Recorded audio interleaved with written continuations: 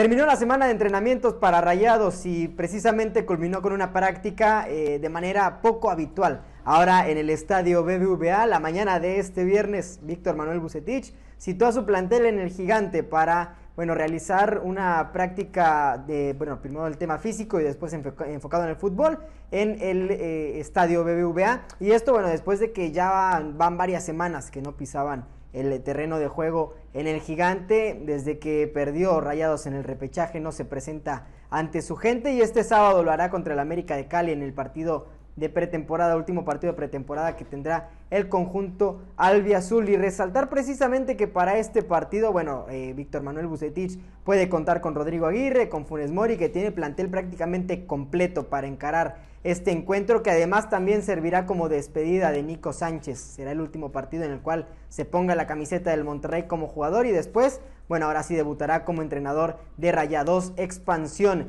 Lo importante también en este viernes es que Víctor Manuel Bucetich habló para los medios de comunicación y dejó en claro varias cosas. La primera de ellas es que quiere estar en el top 4, no quiere volver a batallar con el tema del repechaje. Perdió el repechaje ante San Luis en el torneo pasado, pero ya no quiere pasar por lo mismo. Le apunta de manera directa a estar dentro de los primeros cuatro lugares y avanzar directo a la liguilla. También habló acerca de los refuerzos. Aunque no mencionó nombres, sabemos que es Joao Rojas, que es Germán Merterame. Eh, estos dos jugadores serán los que se conviertan en albiazules y solamente los esperan a ellos hasta el momento para eh, decir ahora sí que está completo el plantel y eh, bueno, espera que la próxima semana ya puedan quedar cerrados con el Monterrey y presentarse lo más pronto posible a entrenar. Además de esto, bueno, mencionar que este sábado a las 19 horas jugará Rayados ante el América de Cali, que ya está en la ciudad de Monterrey. Y yo le invito a que no se pierda la cobertura completa de este partido en Once Diario MX y también en oncediario.com.